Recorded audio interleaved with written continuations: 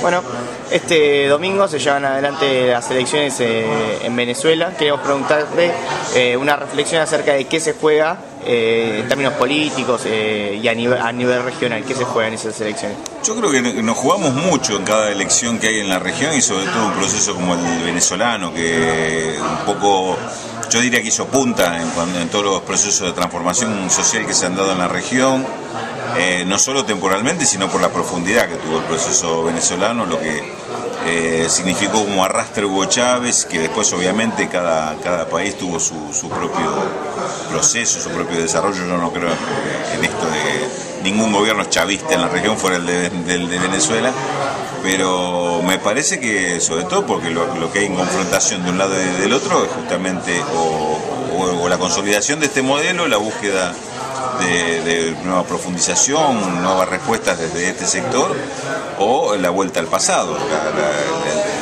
la, derrota de, este proceso, de esta, de oportunidad que significó para toda la región en su conjunto y teniendo a Venezuela como, un, yo te diría, como un eslabón articulador del resto también. Y, bueno, más allá, más allá de eso te diría puntualmente inclusive lo que significaría para, para todo el proceso del Mercosur, que, que este proceso de Venezuela que se acaba de incorporar al Mercosur con la posibilidad que significa de enriquecimiento, yo la verdad que no lo veo que Venezuela pueda hacer el mismo aporte en, manos de otros.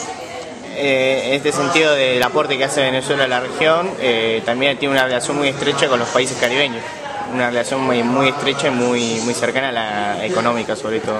Sí, indudablemente hay, una, digamos, para toda la región de Sudamérica hay una, ventaja adicional de que Venezuela esté integrada a este, a este proceso, que es la relación que Venezuela tiene con los países caribeños que el resto de los países no lo tiene. Evidentemente eso es un, es un plus que le da a la participación de Venezuela. Por eso te, te decía que también, o, mejor dicho, te agregaría que también en ese sentido es un eslabón importante eh, lo que significa Venezuela. Más allá que eh, los países del Caribe y Centroamérica vienen, yo te, diría, con un proceso muy retrasado por, por la altísima dependencia política y económica que tienen, inclusive te diría militar, eh, salvo Cuba, que tienen de, Estados Unidos, inclusive República Dominicana, que es, el que más se aproxima en cuanto a haber hecho algún proceso de desarrollo autónomo, su economía es altamente dependiente de Estados Unidos, no logra salir de, esa trampa, por lo cual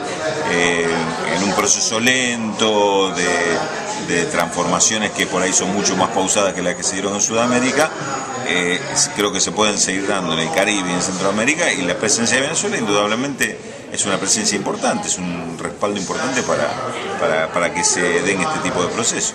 En el escenario electoral venezolano, ¿cómo ves la figura de, Capriles? ¿Qué, crees que representa y si crees que unifica a, la oposición chavista? Yo creo que fue un extraordinario hallazgo de la derecha la candidatura de Capriles.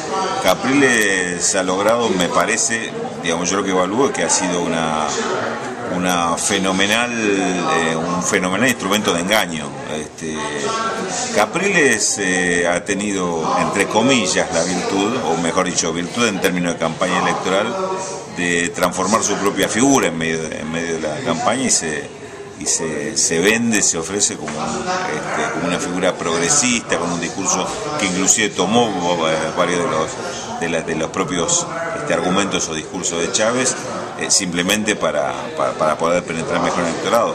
Lo, lo terrible que lo logró. Yo creo que logró tener una penetración y seguramente en esta elección eh, la derecha va, a tener mejores resultados que tuvo en los, anteriores. Creo yo que sin llegar a, hacer peligrar el triunfo de Chávez, pero indudablemente va a tener una muy buena elección.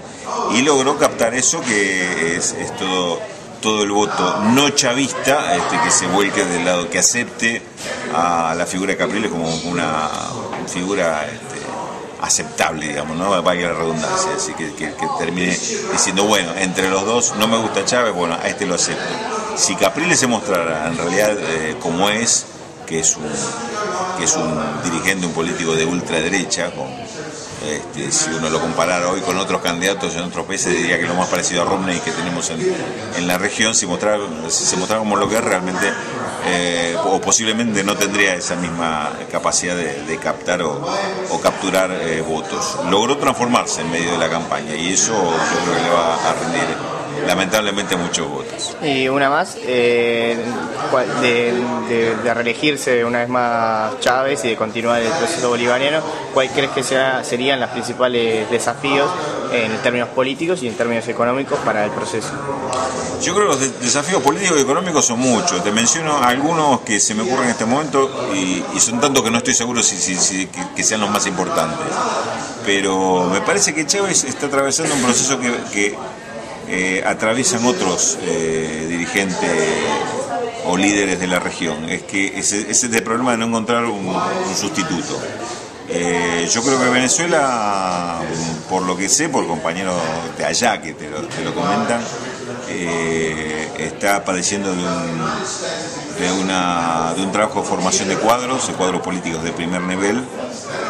ha tenido un digamos, un problema serio con algunas gestiones a nivel de gobernadores eh, que se han alejado de los principios con los cuales llegaron al, gobierno de la mano del, Partido Socialista Único de Venezuela, no solo porque han dejado de lado eh, algunas cuestiones que tienen que ver con la gestión, sino que además este, eh, han quedado involucrados en, temas de corrupción que, también yo creo que tiene que ver con los principios este, fallarle a los principios de una, revolución.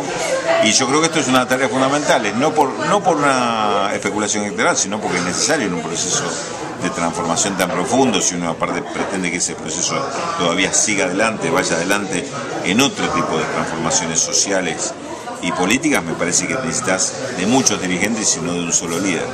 Y dentro de estas transformaciones está, por ejemplo, eh, cambiar un, un, modelo, un Estado que todavía, como nos pasa a la gran mayoría de los países de la región, yo te diría que salvo Cuba, y en menor medida este, que el resto Bolivia, pero el resto seguimos con estados muy neoliberales.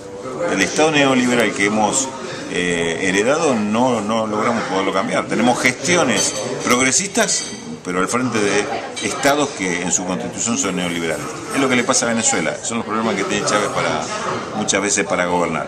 Este, este cambio, este recambio de, un estado que, se adapte a las condiciones de un modelo transformador no se logra con un solo líder. Este es uno, por eso te, te lo marco como uno de los problemas, me parece que debería encarar inmediatamente el, el chavismo después de, las elecciones.